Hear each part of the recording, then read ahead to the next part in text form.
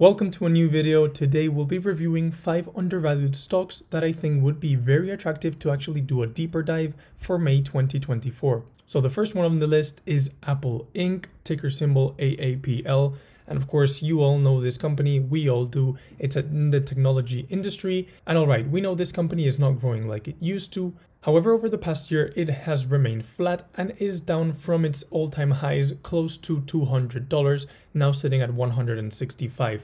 Now, this company pays a 1.6% dividend yield, which is one of the highest dividend yields it has had in the past four years, where although the dividend is not significant and it's only a 1.6% dividend yield, they have been growing this dividend at a 8.7% compounded annual growth rate for the past three years, which is a significant growth rate, especially for such a stable company like Apple.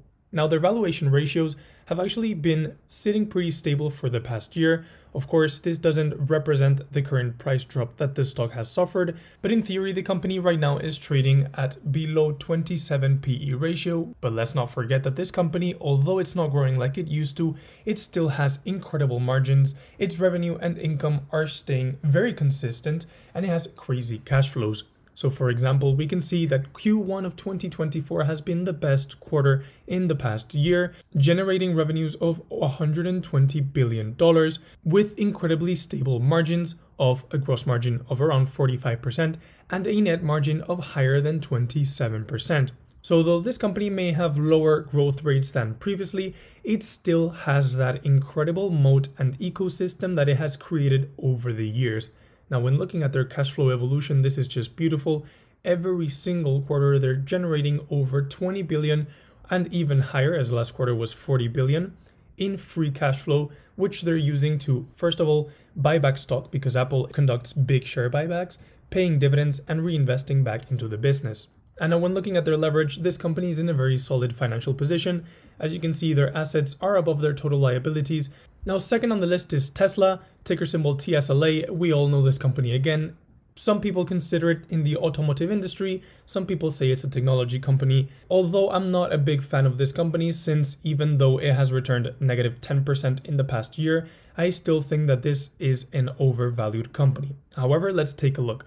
Now, first we have to consider that Tesla pays no dividends, it reinvests every single cent that it makes back into the business, and when we look at its valuation ratios, we can see that its price to earnings ratio in quarter four 2023 was actually around 60 times earnings, which is, for me, not an attractive valuation for a company that has not been growing as fast as it used to recently. However, this could be a very speculative play because this company has been trading at even higher valuations, as we can see from the chart. Now, it is true that this company is very consistent, and although it hasn't been making profits for a long time, right now it's focusing on getting that profit consistency.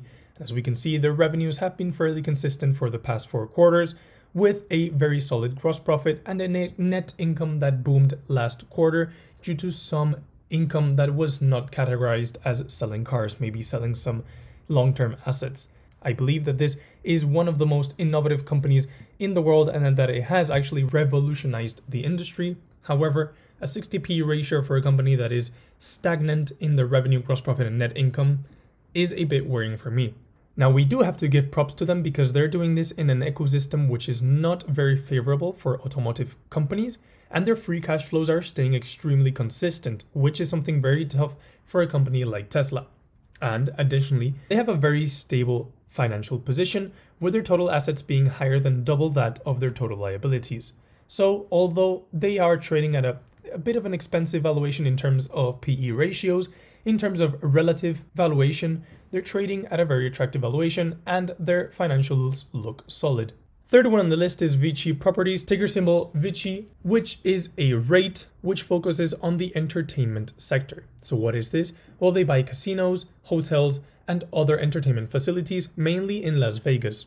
And as we can see, this stock has returned a negative 16% over the past year, which I believe has mainly been driven by higher interest rates. Now, this company has been trading at a fairly low valuation for the past year because of this drop in prices that we have been seeing for the past year. Right now, they're trading at a price to earnings ratio, which is around 13 times according to TradingView, with a price to cash flow ratio of 16 times. Now they pay a very substantial dividend with a dividend yield of 5.9%. However, one thing to consider is that this dividend has not been growing since 2021. Instead, it has actually contracted at a 1.2% compounded annual growth rate for the past three years. However, this company generates such substantial free cash flows and is able to pay such high dividend yields, which make it a very attractive company.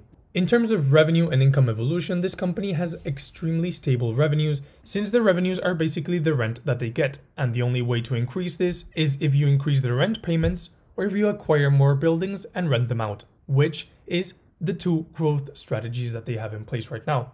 Now, this company has very solid margins, but this is because it's a REIT and it doesn't have cost of goods sold. Instead, it just keeps that on the balance sheet as liabilities.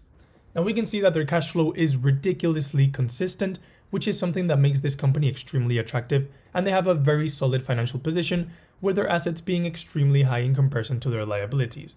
However, you should do some deeper research on this and check out, for example, their interest coverage ratio and other metrics for the long run, especially focusing on interest rates. Number four on the list is a bit of a speculative play. This is Perion Networks, ticker symbol PERI, which is a digital advertising industry. Now it is down 71% in the last year, and the last drop was caused by a readjustment of their revenues, decreasing them because I believe they'll be losing a partnership that they had with Microsoft. I believe this partnership was around 50% of the revenue, and now that is being priced into the stock.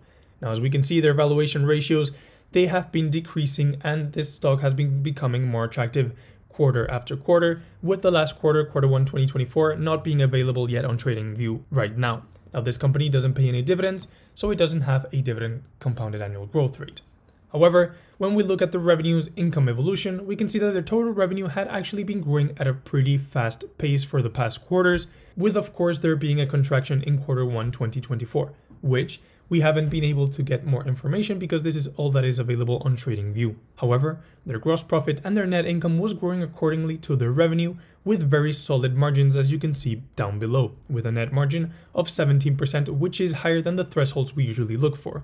Now their cash flows are looking very solid. This company recently of course announced a stock buyback program and they actually increased it to around $75 million I believe over 2024. And when looking at their leverage evolution, their total assets more than cover their total liabilities, sitting at three times their total liabilities. So this is a very speculative play, which I, I will actually be doing a deep dive because maybe the market has overreacted over their loss of partnership with Microsoft.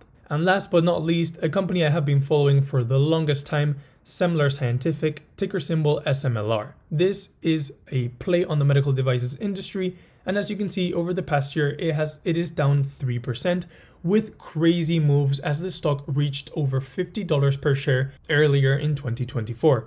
Now this stock does not pay dividends and as we can see their valuations actually got extremely expensive in quarter 4 2023.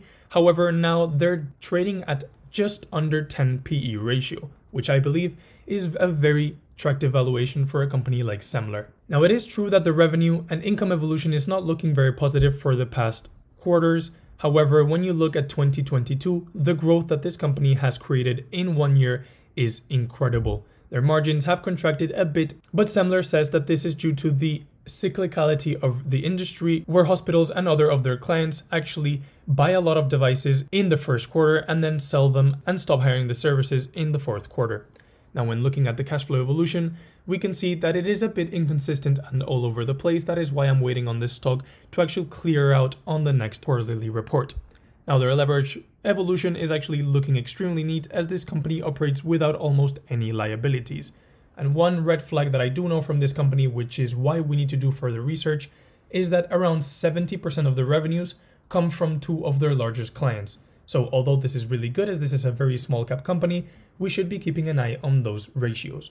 Now thank you for watching as always, this has been the Cashflow Compounder. Join the free Patreon for extra content, and there is a link in bio for a free stock if you join Trade Republic or Trading 212.